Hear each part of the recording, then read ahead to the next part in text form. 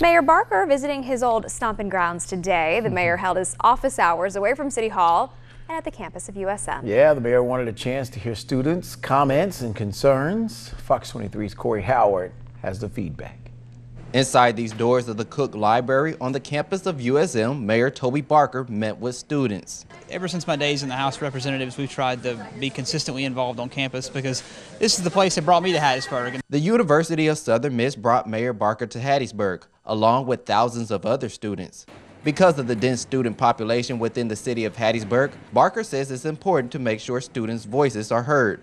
Uh, these citizens are not the Hattiesburg of tomorrow. They're the Hattiesburg of today. And the more that we give them a voice, the more that we listen to them, the better we're going to be able to respond to their needs and really start to push an agenda that's for their well-being.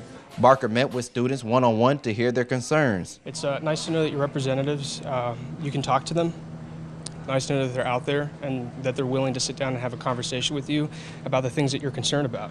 Amongst student concerns, Barker says a key factor is quality of life. I think students are, are interested in, in, you know, a lot of quality of life factors, you know, kind of restaurants we have here, uh, walkability to their favorite uh, night spot.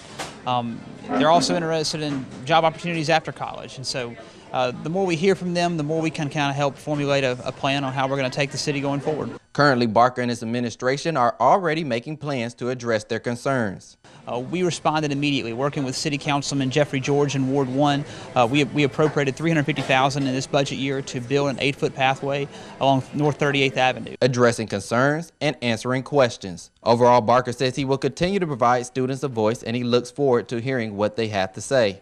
Corey Howard, Fox 23 News. And Mayor Barker graduated from USM in 2004.